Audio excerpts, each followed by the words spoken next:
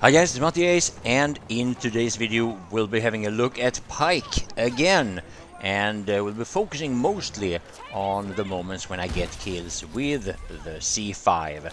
Uh, it's not going to be all about C5 kills though, but in the beginning of the video, the first half of the video is going to be quite a lot of that. I've enjoyed playing Paik quite a lot and I've especially enjoyed the few times that I actually get kills with C5.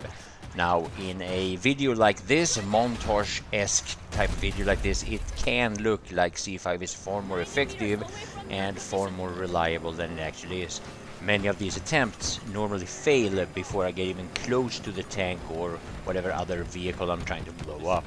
But every once in a while I uh, get a successful uh, detonation and when I do be sure that that clip is going to end up on YouTube because it really does look epic. For the most part, or almost exclusively, I would say, I still use the VHX-D3 uh, as my main assault rifle. And um, I've been mixing it up with a few other weapons a little bit, but I haven't really found my way with any other weapon as of now, or, well, uh, basically, it's there's just too many new things to learn for me who just recently started playing this game again. So uh, leveling up another weapon or getting familiar with another weapon while learning all these other things related to Battlefield 2042 is just a little bit too much at the moment. But we'll see. Uh, maybe I'll go back to the AK-24 also soon enough. Now, when I use this weapon, I normally switch between either the uh, long barrel or the uh, wrapped silencer. Those are the two attachments I switch between the most, and that's for the barrel, of course. And every once in a while, I switch to the thermal scope or the thermal sight. Uh, not so much when it comes to when it's when there's a lot of smoke or stuff, but mostly when there is a lot of vegetation. That's when I think that the thermal is the best. You'll see a little bit of that in this video again. Now, as you can see, I'm editing this video quite a bit, and that is mainly to make sure that it doesn't get too long. But uh, here we have the first clip where I give you quite a bit of context. What I'm doing here is that I, uh, well, aside from, you know, getting some kills on infantry, I want to take out a tank.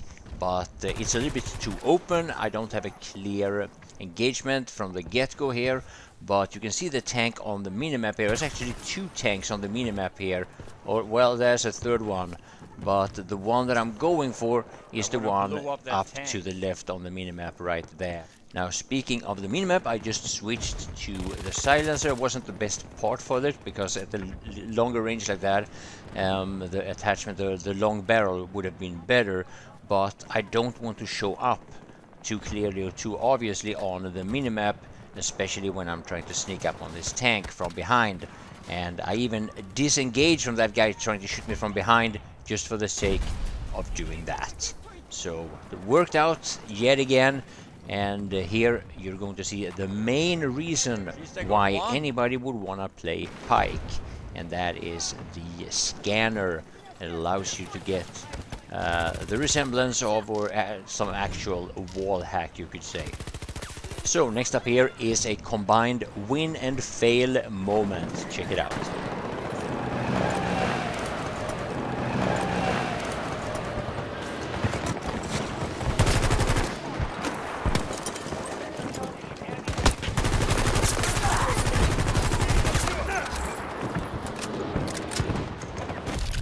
No! My parachute!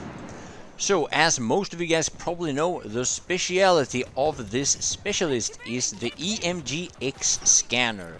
This is how it can help you.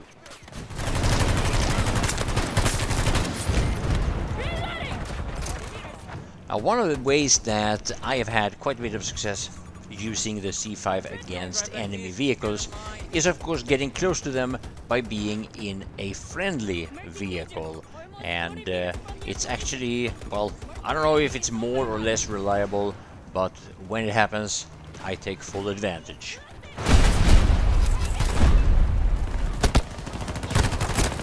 No! I didn't see that guy. Oh nice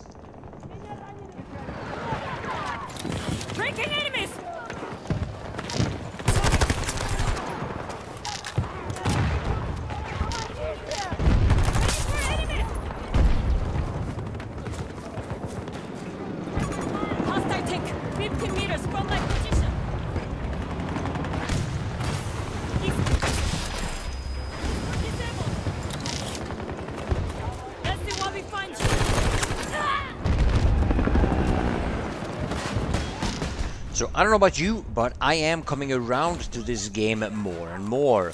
Now, I'll be honest, every once in a while I have entire days playing this game where I'm just basically cursing it without end. Uh, for the most part, it's uh, some situations here, some situations there, or some rounds here and some rounds there. But um, yeah, when this game is frustrating, it is really frustrating.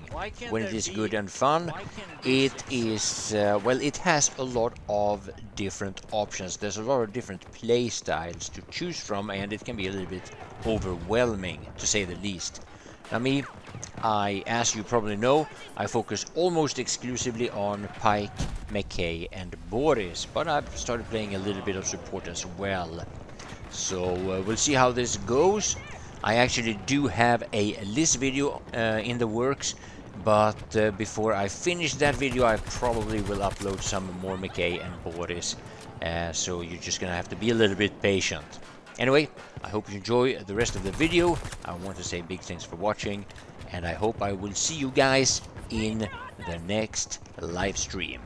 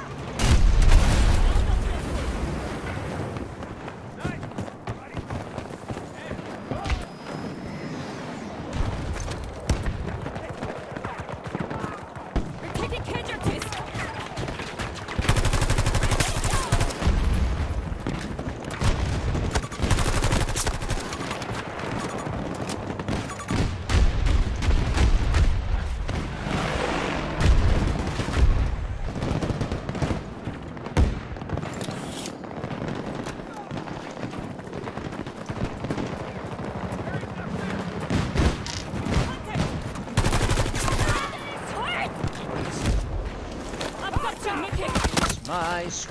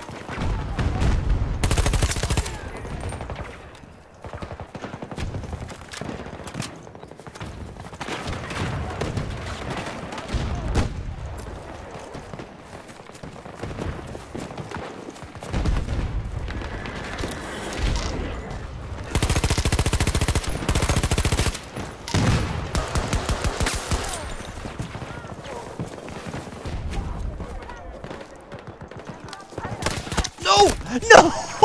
Oh my god! Oh, that was so annoying!